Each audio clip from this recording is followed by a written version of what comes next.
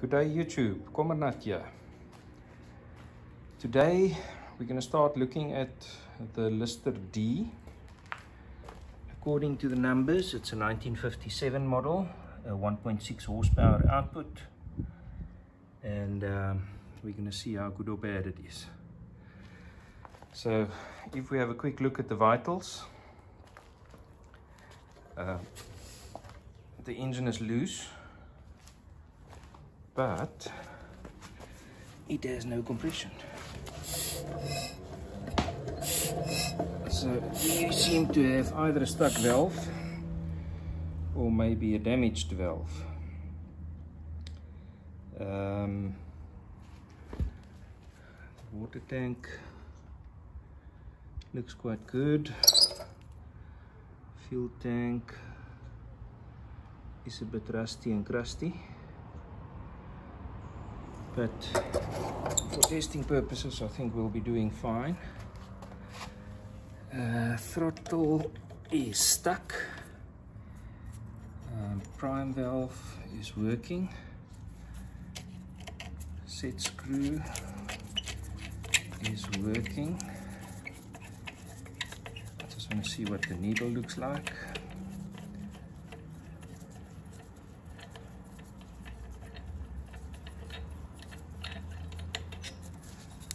Okay, so first thing I notice, we need to wire brush a bit. You can't see any of the stamped in writing on there. Um, I don't think you're going to see much in there. It doesn't look very good. Uh, that guy's job is to run on the serrated side there and um, keep the set screw at the correct setting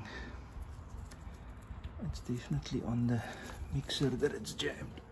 Oh, it's coming loose. Okay so we'll have to put some oil on there. And um, uh, of course if we want to have a quick look at the valves. Um, can't see too much from the top. But at least we'll have an idea if the rockers are moving or if water gathered in here. What that looks like. Okay it doesn't look too bad. Just give it a spin.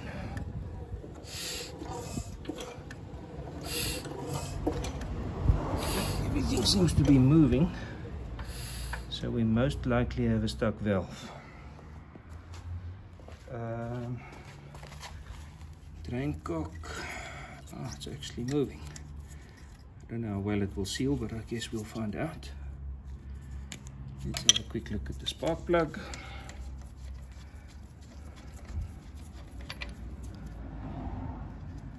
Ooh, carbon. I guess what we'll do with this guy is just wire brush it clean and just check the gap. I may have to go and do a quick bit of reading to find out what the expected gap is. And grease cup is loose. Okay so we'll have a look at this one as well. Uh, looks like it was filled at some stage or another. Okay and of course let's see if there's oil or water in here. Um, when I bought it it was standing outside so who knows for how long? It looks like reasonably good oil of course if there's water it will be underneath. But um, for initial run testing and so on there is oil in it and it seems to be reasonably good oil for testing purposes. Okay um, I think oh, we can do a quick spark test. So let me just put you on the stand and we'll quickly see if we get any form of spark out of the magnet. So there's no cut-off switch or anything. The fuel setting determines if you can run it or not.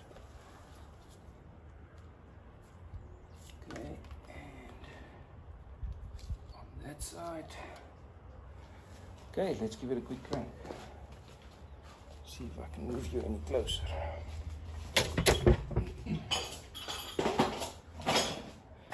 Try and determine if there's spark. Okay,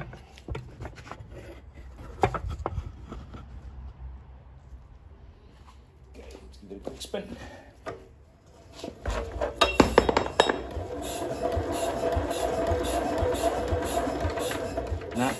Okay, so on the vitals, it's definitely not looking good. No compression, no spark. Engine is loose. Timing, we'll find out, of course, when we get it to, to start making a spark. Um, so as a starting point, let's get some oil on the valves see if we can get it. See if we can get it loose. Just normal 30 weight oil.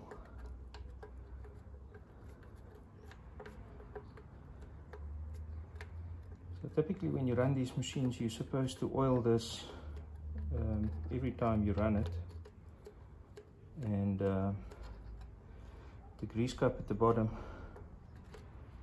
it's just to help the bearing. I think it's white metal bearings. I guess we'll find out when we take it apart. Okay, so this can soak. Um,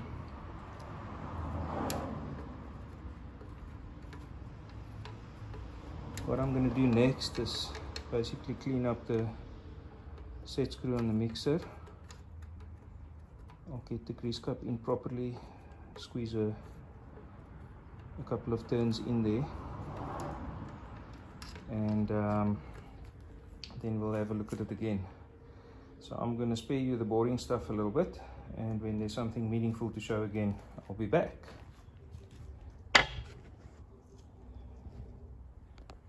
Okay, we're back. um, I've had a bit of success with some of the vitals. So after opening the cap on the magneto, I just cleaned the contact, took the points out, just gave them a quick sand with a, a fine sandpaper. And now, if we spin it,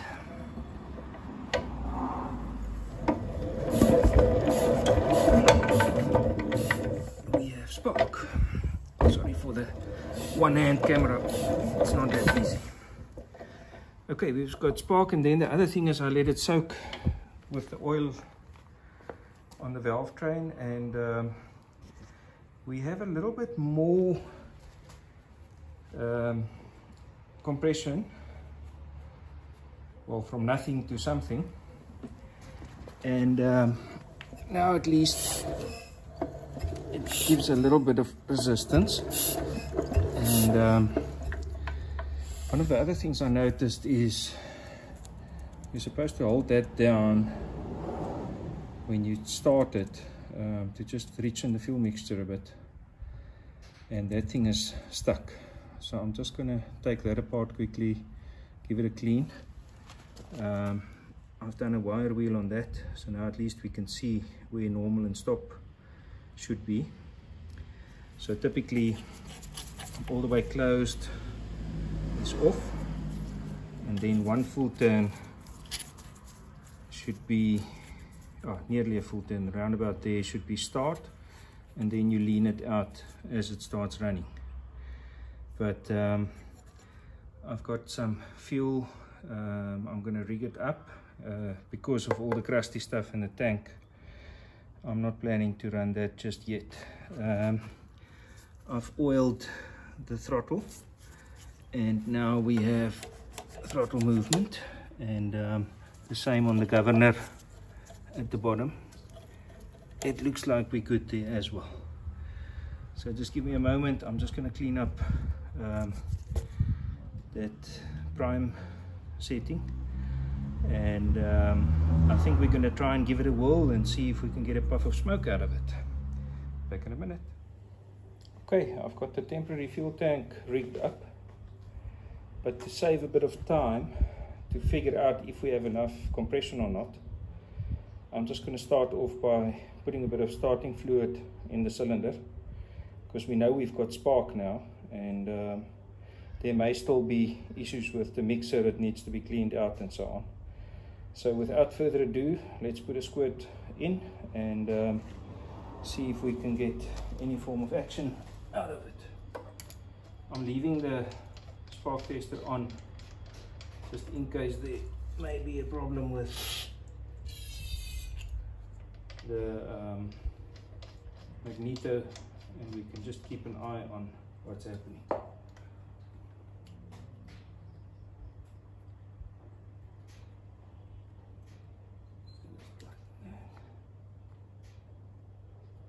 Okay, hopefully it won't jump on the spark on this side.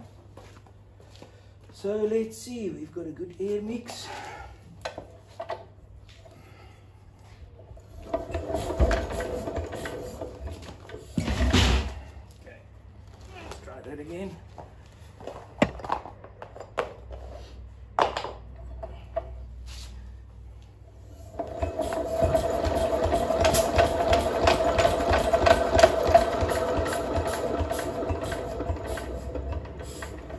There was a brief puff, but not much more than that.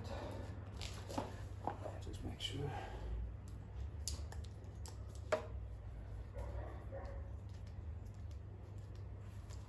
Okay.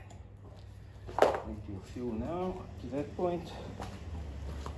Just it another bit of persuasion.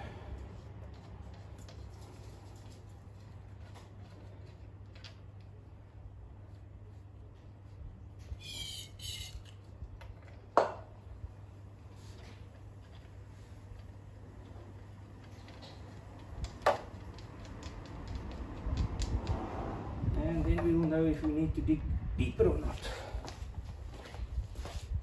Okay, hold thumbs.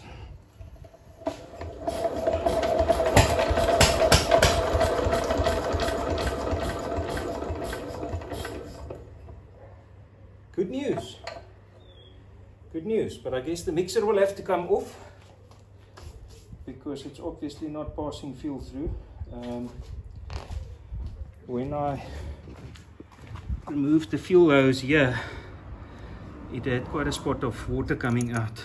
Um, so it's not impossible that our fuel channels may have water and since some of it might be casted parts, there may be some rust and bits in there as well.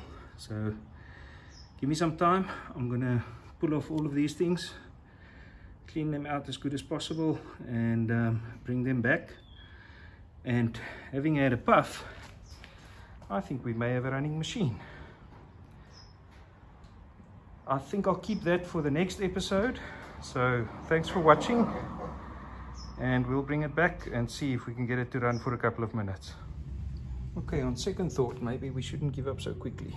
Um, when I took the carb off and I drained the float bowl it made quite a nice splash of water um, it's not so easy to see but in the bottom there's like a light light color swirl that's water underneath the fuel. So I've cleaned that out and um, I think we're just going to give it another another whirl for the fun of it. I haven't got water in the hopper yet so it will just be a short run but I believe it might actually continue to run. So let's give it a bash see how reliable this is.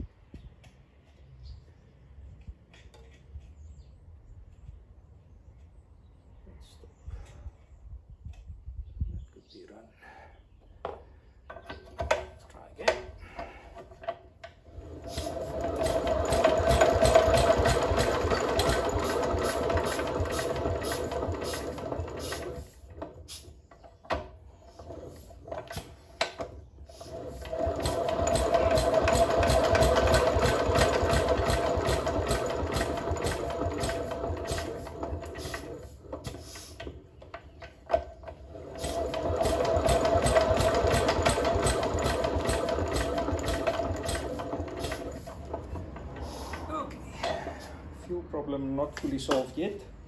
Okay, we call it a day on that one. Okay, we're not ready to give up yet. So I've cleaned the carburetor or the mixer because it's not the true carburetor. Um, it was bad.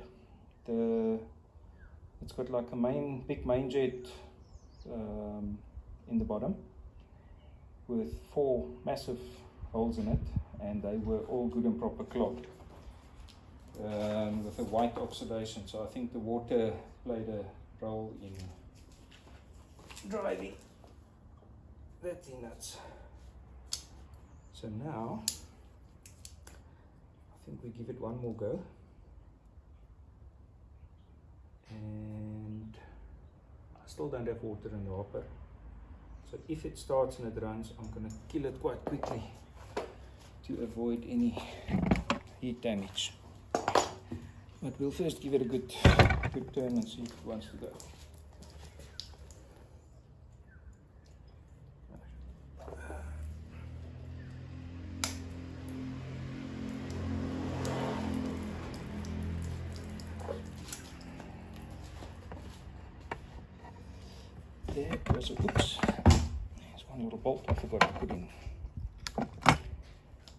guy going in the side there.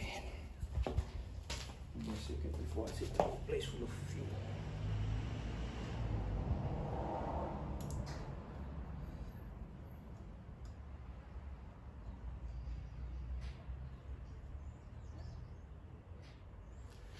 Okay, at least we know the passages are open now and it's getting fuel right through to the side where it's needed. Okay, that's not cool.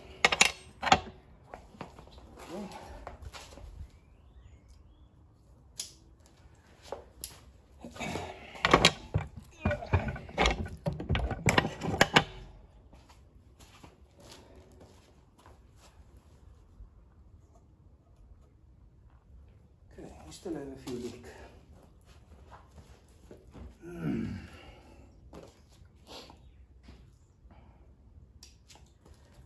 Just tighten that up. It's a big brass main jet.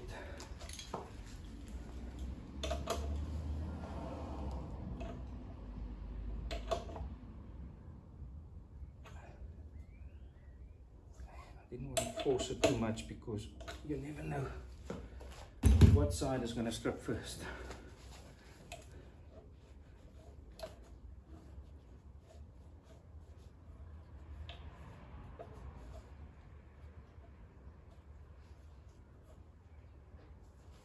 It's the.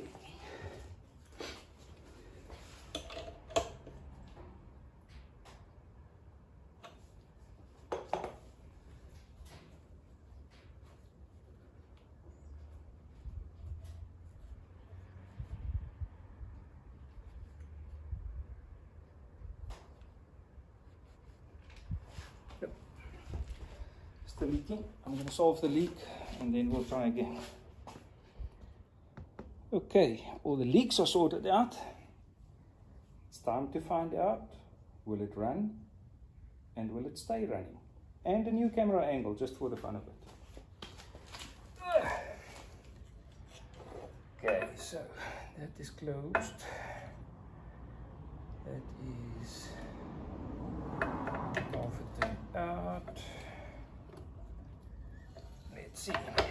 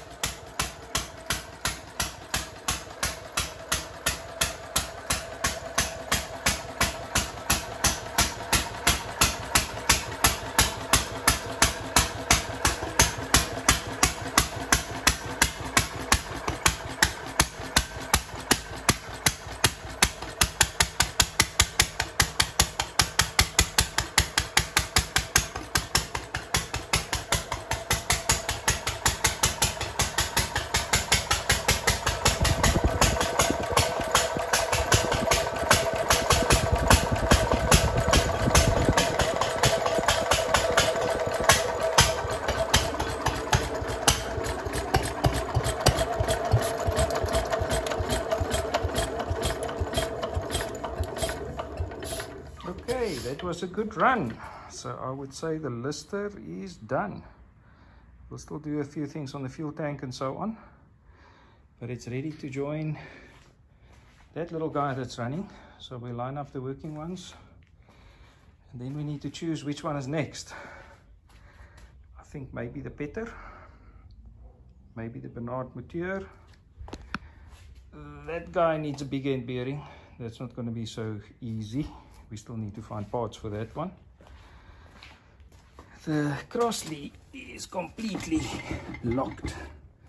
So I've started spraying some oil and things in here. But um, it's also missing bits so that's not going to be an easy one. And then of course the little Wolseley um, so I'll see. For the next round post some comments. Let me know which one you want to see run first. And um, we'll be back Commer nut signing off